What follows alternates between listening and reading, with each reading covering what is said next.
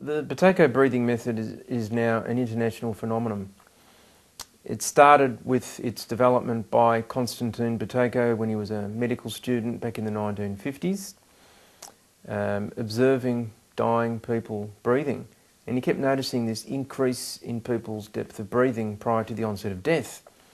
And after seeing this hundreds of times, he started to wonder whether deep breathing was not just associated with dying, but it was also associated with diseases because after all, people die from diseases. So his idea, which was pretty radical at the time, was to experiment with getting people to reduce their depth of breathing to see what impact it would have at improving their illnesses. And very quickly, he found that his hunch was correct. People started to get a decrease in symptoms, improvement in their sleep pattern, experience less anxiety, have greater energy levels, and as a result, they had less requirement for using medications and machines. And he went on to develop what has become known as the Buteyko breathing method. And interestingly, it really didn't change that much in the uh, 50 years from the time that Buteyko developed it to the time that he passed away back in 2003. So for 50 years he taught individuals, researched the method and trained practitioners. And it took over 30 of those years before he was given formal recognition for his work and discovery um, in the Soviet Union. Finally, in the mid 1980s, the method was endorsed under ministerial order. And amazingly, during all of that time, the method was virtually unknown outside Russia. And it wasn't until uh, the end of the Cold War, the early 90s, that the method got out of Russia and came to the rest of the world via Australia. And uh, luckily for us here, Australia was the first country chosen.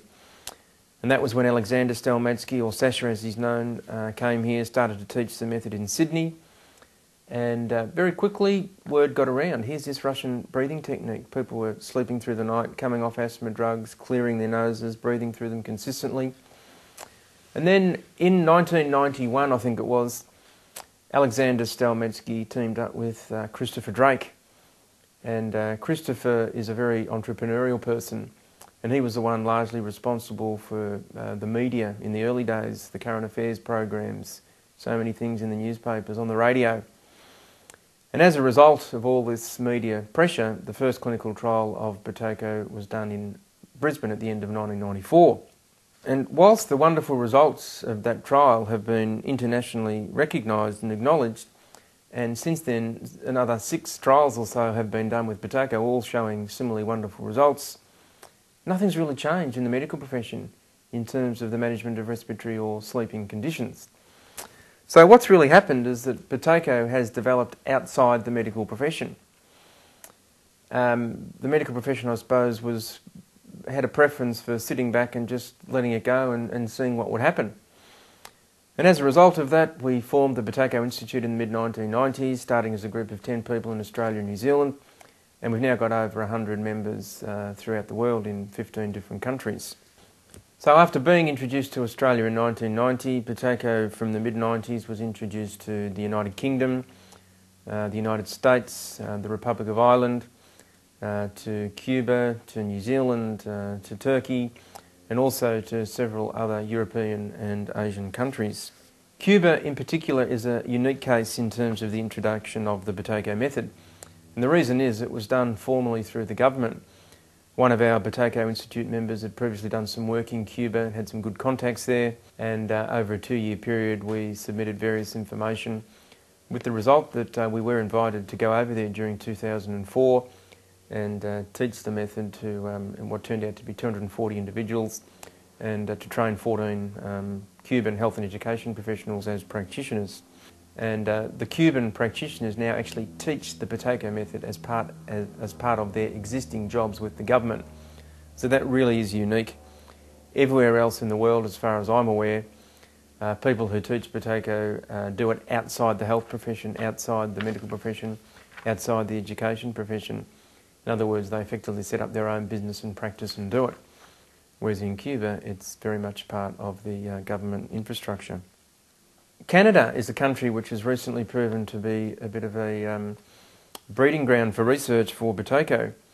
And the background to this is that the parents of a young boy who learnt the method a few years ago and recovered from very serious asthma were so overwhelmed with the, uh, with the results from Buteyko that they decided to invest money in research. and I understand that they donated uh, something around the uh, order of a million Canadian dollars for research of Buteyko. And uh, three clinical trials uh, were undertaken at the Calgary Hospital. And uh, the three doctors involved in these trials, uh, Dr. Bob Cowie, Dr. Francis Green, and Dr. Tamar Almaz, were all guests at our fourth International Buteyko Conference in Brisbane in November of 2007 and presented the preliminary results from their trials. And I understand there's going to be further research there as well, so that's, that's fantastic. Turkey is another country which has great potential in terms of introducing Buteyko. Um, myself and uh, Jill McGowan and uh, Tuba Turan. Uh, Tuba was born in Melbourne, parents are Turkish, uh, learnt the method here, got great results, immediately was interested in practitioner training, uh, began that um, a year or two after doing the course herself. Uh, did half of her training in uh, Australia and doing the other half in, in the UK. And uh, through some contacts uh, with her family, she was able to introduce us to people there who are interested in Buteyko. A couple of courses have been done. Uh, there's a good link there with the Lions clubs. Um, I was involved in giving a presentation to a, at a district convention of Lions clubs in Hay in New South Wales in Australia uh, back in 2004. As a result of that, they passed a motion to endorse the Buteyko Institute by setting up free introductory seminars in the rural areas on the Lions premises. And the reason being they know that there's no one there teaching Buteyko at all.